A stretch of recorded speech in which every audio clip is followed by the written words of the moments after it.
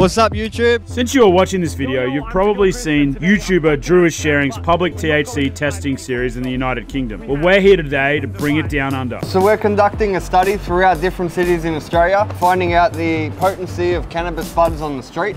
We're here in Canberra in Australia's capital territory. It's been decriminalised for three years. People are growing their own stuff legally. We have our cannabis analysing machine and we're about to hit the streets and conduct a study to find out the potency of the product available here.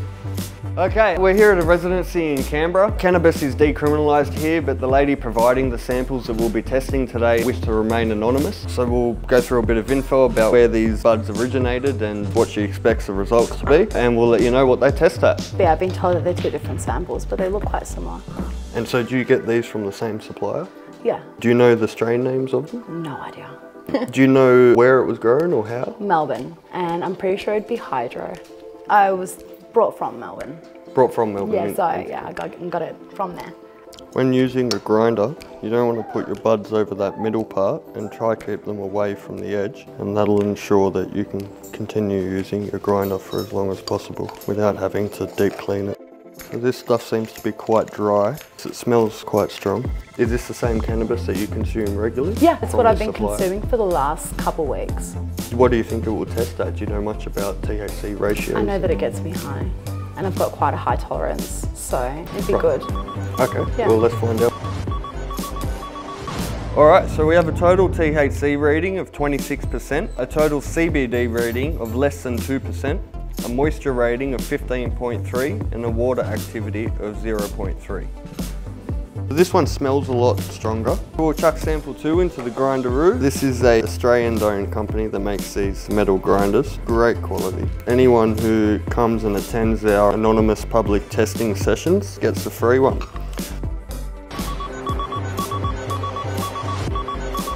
Tested at 25% THC, less than 2% CBD, a moisture rating of 17.9 and a water activity of 0.7. This seems to be some of the strongest stuff that we've tested so far. We'll go out and get some more samples and we'll work out the average. We've found a test subject to let us analyse the potency of their flower that's grown here in Canberra. I guess there's still some issues with the stigma and association with cannabis, even with decriminalisation. So the person who grew this stuff didn't want to have any interaction on camera. This strain is known as Critical Kush. It was grown hydroponically here. But let's put it to the test and see how this goes. Given a total THC reading of 19% and a CBD content of less than 2%, we're going to be testing the three different outdoor legal grown cannabis strains. So we have Mulloway, bloke from Nimbin. He made this, right? Mulloway Medical Cannabis. Mulloway is the first strain of legal outdoor grown Canberra cannabis. We have King G and we have Big Lady. So what do you think these will test at in terms of their THC CBD content? Highest, middle, lowest. Okay, we'll put this to the test. Uh, we'll start with the lowest, I guess. So this is the King G. Smells quite strong. So this obviously won't give you 100% accurate results like you would get out of a lab test such as what the Lambert Initiative was doing recently. This should be somewhat of a good indicator.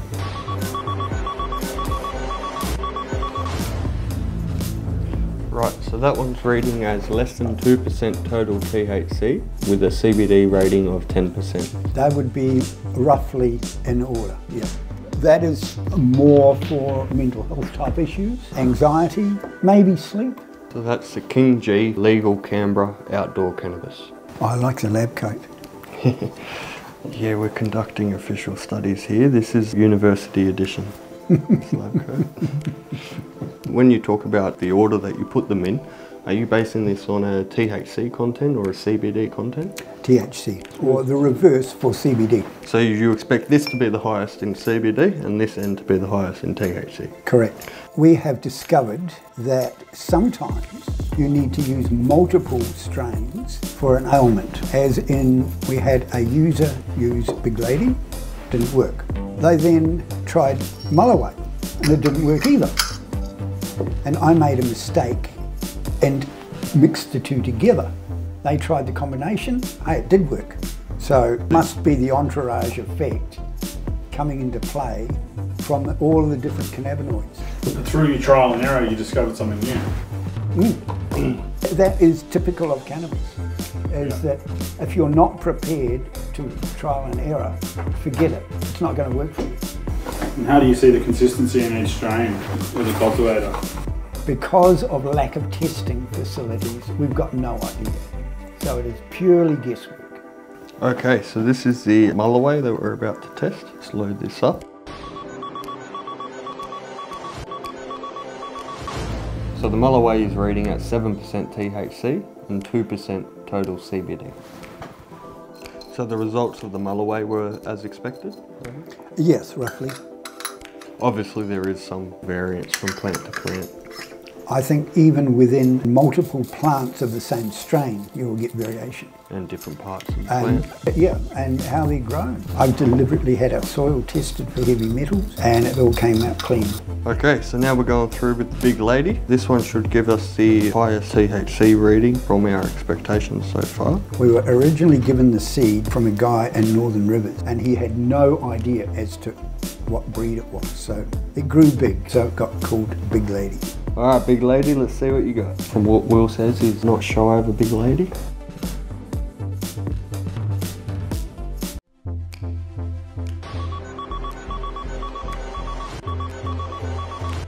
Right, so that one is reading in line with your expectations.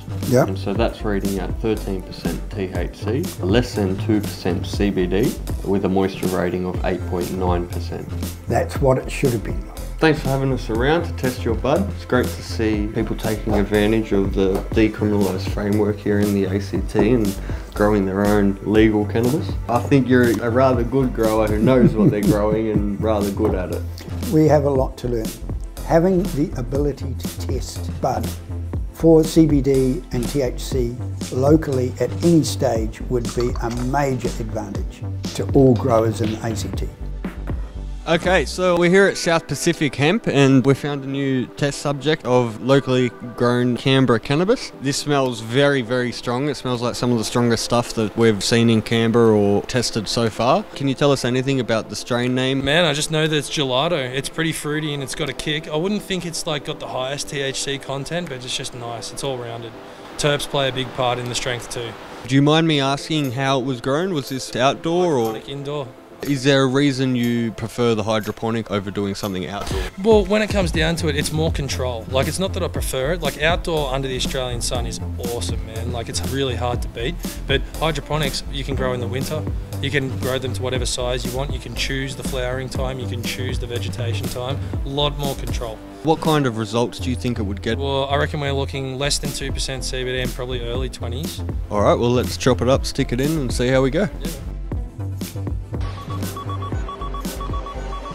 Exactly as you were expecting. So that's reading at a 22% THC, less than 2% CBD, and a moisture rating of 8.2. What do you think of those? Yeah, man, pretty bang on. You know, essentially what we're testing is two alkaloids of the plant. So you got THC and CBD, and those are just two of like 400 alkaloids in the plant. So that's good. That gives us a ballpark figure. But now I want to smoke it, taste it, effects, legs, see how long it goes, everything. It's good. It's fruity. You don't go back for it very often. Yeah, man, it's really nice. Daytime smoke. Another thing too is not necessarily even hydroponic, even just being indoors with indoor lights, a decent amount of, of circulation of air and ventilation. Man, you can do some really amazing microbe soil mixes and hit stupid numbers. Early 30s. And so you're one for the living soils and, and microbes? Love living soils, love microbes, man. Like uh, hydro is the V8. Hydro is going to get you there quick. It's going to get you there big. But you know the really nice microbe soil grows are like a nice Sunday driver. It's got class. Yeah, man. Well, thank you very much for letting us test your stuff. Yeah, thank you. Thanks, man. While cannabis has the potential benefits for many people, it's crucial to remember that it might not be for everyone. Thanks for watching guys, we hope this has been informative. If you want us to come to your city, you want us to test your bud, drop us a message, drop a comment below, let us know. And uh, like and subscribe.